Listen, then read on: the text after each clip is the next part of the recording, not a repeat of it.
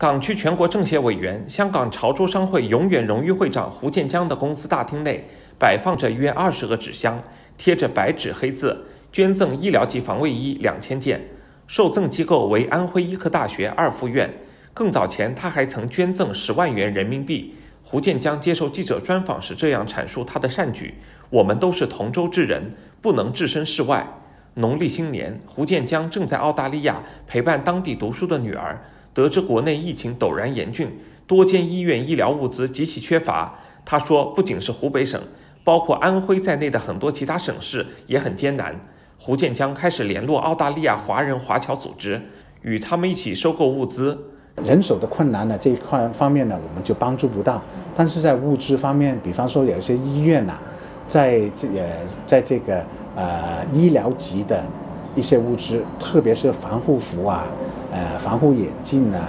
啊这些的呃物资上面呢是有一定的需要的，那我们就尽量呢按照需求哈来在呃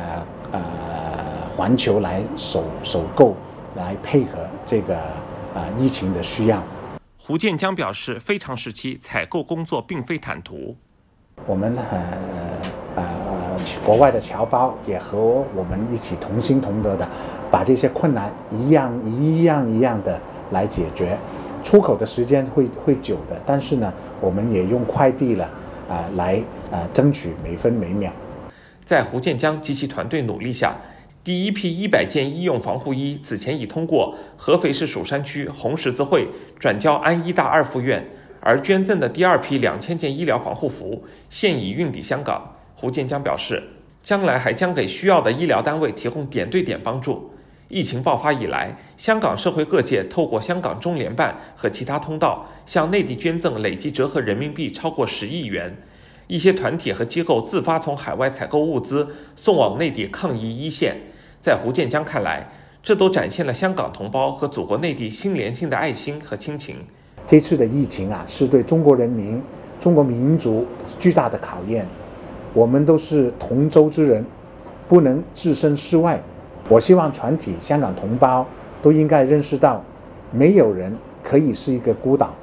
香港也不应该成为一座孤城。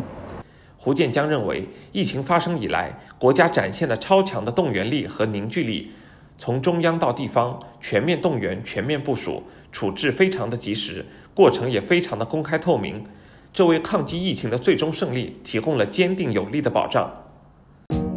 更多精彩尽在中国新闻网客户端。